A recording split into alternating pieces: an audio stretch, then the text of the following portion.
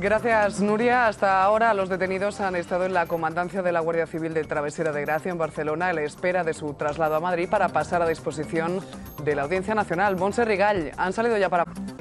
Gracias, Monse. Enseguida volvemos contigo el sábado 19 de enero y estamos en pre-campaña y en Braga, donde ha clausurado la cumbre hispano-portuguesa, el presidente Zapatero ha cargado contra la política del Partido Popular. Durante toda la mañana la atención se ha centrado en el barrio del Raval, donde se han producido la mayoría de esas detenciones y también los registros. Nuria Ramírez, la operación, como decíamos, sigue abierta.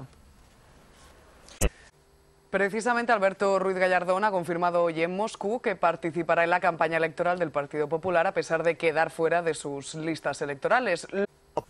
Izquierda Unida ha adelantado hoy cuáles serán las líneas básicas de su programa electoral. Ha sido en Madrid, donde Gaspar Llamazares ha hablado del Partido Popular y su apuesta por Manuel Pizarro. Mónica Cadelo, cuéntanos. Activar la furgoneta bomba que mató a dos personas hace un año. Esta noche en Informe Semanal conoceremos la realidad de la otra ETA. Ya está en su pueblo natal, en Colombia, la excongresista Consuelo González de Perdomo, que estuvo más de seis años secuestrada por las FARC. Ha llegado... Los jesuitas han elegido esta mañana a su nuevo superior. El español Adolfo Nicolás, del sector más progresista y muy próximo al padre Arrupe, se convierte en el primer papa negro, que es, como se conoce también, al líder de la organización más poderosa de la Iglesia Católica del siglo XXI. Su elección ha causado cierta sorpresa entre los que pronosticaban un superior más conservador y más próximo al papa.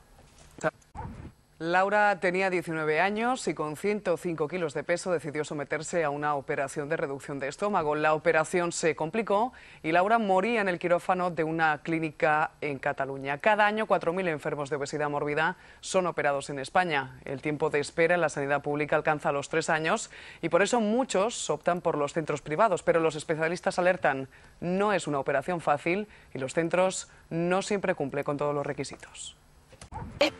A partir de ahora, fans y cantantes pueden hacer negocio juntos. La web Apadrina un artista ofrece la posibilidad de apostar económicamente por nuevos talentos y ayudarles así a grabar un disco. Ya participan en esta iniciativa más de 400 grupos en España y Latinoamérica y hay 15.000 padrinos de toda Europa. Bueno, pues casi para terminar llega la gran fiesta de los sentidos. Ha comenzado ya el Carnaval de las Palmas de Gran Canaria. Anoche fue la artista Mari Sánchez, muy conocida en el archipiélago, disfrazada de la diosa Atenea, la encargada de dar el pregón. Así se inauguran tres semanas de fiesta.